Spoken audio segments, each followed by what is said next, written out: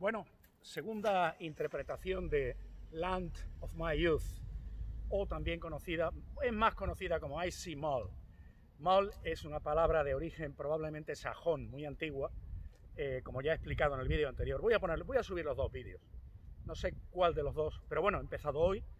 Eh, mañana voy a seguir con la misma, porque recomiendo encarecidamente que cuando trabajamos un tema, eh, lo trabajemos mucho. O sea, no queramos abarcar otros temas eh, antes de terminar mm, satisfecho. Yo no digo que, haya una, esto sea una performance perfecta.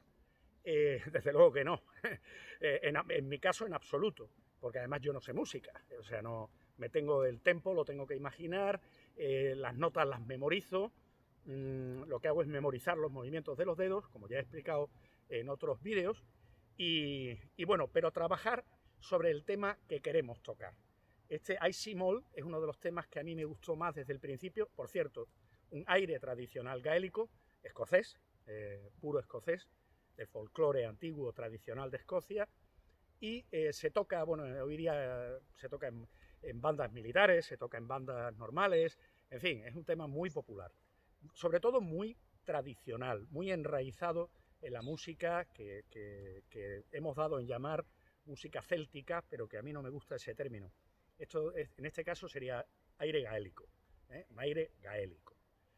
Tierra de mi juventud, veo el Mol. Mol es un lugar rodeado de colinas. ¿eh? Mol, la palabra muy antigua, de origen sajón probablemente. Buenos días, amigos.